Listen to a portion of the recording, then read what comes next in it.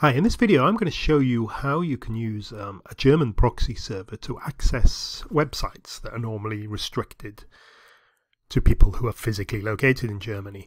Now, just like websites all over the world, um, there are many, many popular websites, including lots of media ones, that you can only watch if you're physically inside Germany.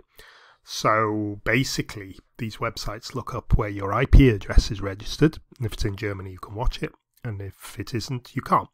It works this way the whole way around the world. Um, American, French, British, Australian, loads and loads of um, websites do this now. I mean, even if you go along on YouTube, there's lots you can and can't see depending on your location.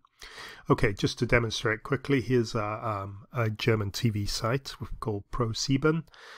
Um, and if I try and watch the um, review uh, preview here, um, you can see I get a location error. Sorry, this video is not available in your country. ProSieben's looked at my IP address, um, sees it's in the UK, and blocked it.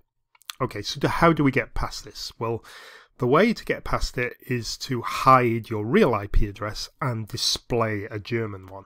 Okay, so I'm going to just close this these sites down, and I'm going to show you the program I use to get past this. Now, not particularly ProSieben, but any site.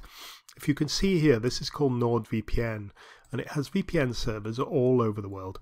Uh, VPN is very similar to a proxy in that it has an encrypted channel between you and the um, the VPN server. VPN stands for Virtual Private Network, and it was originally used primarily for security. The idea is this encrypted channel means that your web activity is completely um, anonymous, so nobody can read it, intercept it, or anything like that.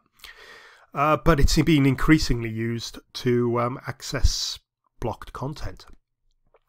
So, um, what do we do? Well, if we're trying to access this, we basically need to just connect to a German server.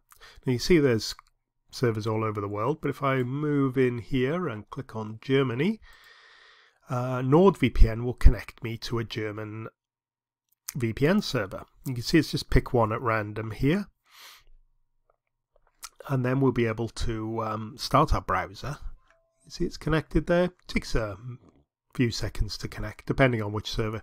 If you connect just on Germany there, it'll there, there are hundreds of different IP addresses and servers available, but it'll pick the fastest one relative to your situation. Okay, so I'm going to minimize that. I've now effectively got a German IP address. So any site I visit will think I'm in Germany, not the UK. So let's just go back to ProSieben. Um, I won't be able to watch all of these stuff because you need to register, which I won't do that just now, but this is the preview that basically works the same as all the other site, rest of the site. And you can see last time I got a little message at this point.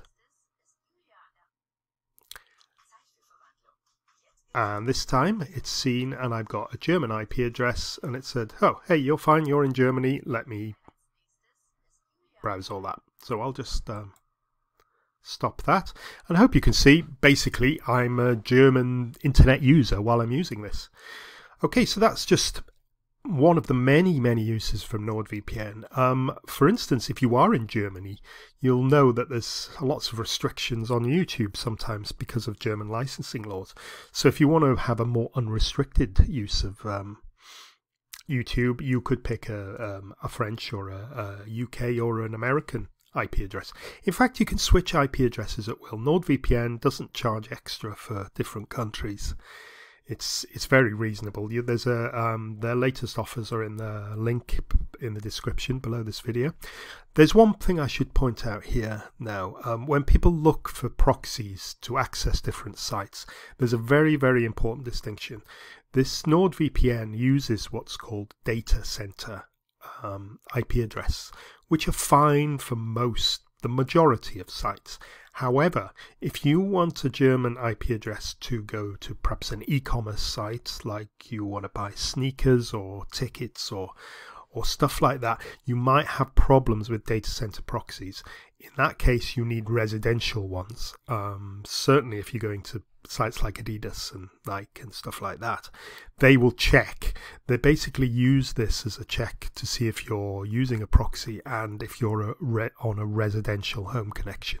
So that might be something you want to consider. But NordVPN works fine for most things like YouTube and TV channels and stuff like that. If you're not buying anything online, NordVPN will be fine. If not, look at somebody like um, Luminati or um, rotating proxies, which are residential. They cost quite a bit more, but they'll work for any situation. Okay, that's the end of my video, and thank you very much for watching. Goodbye.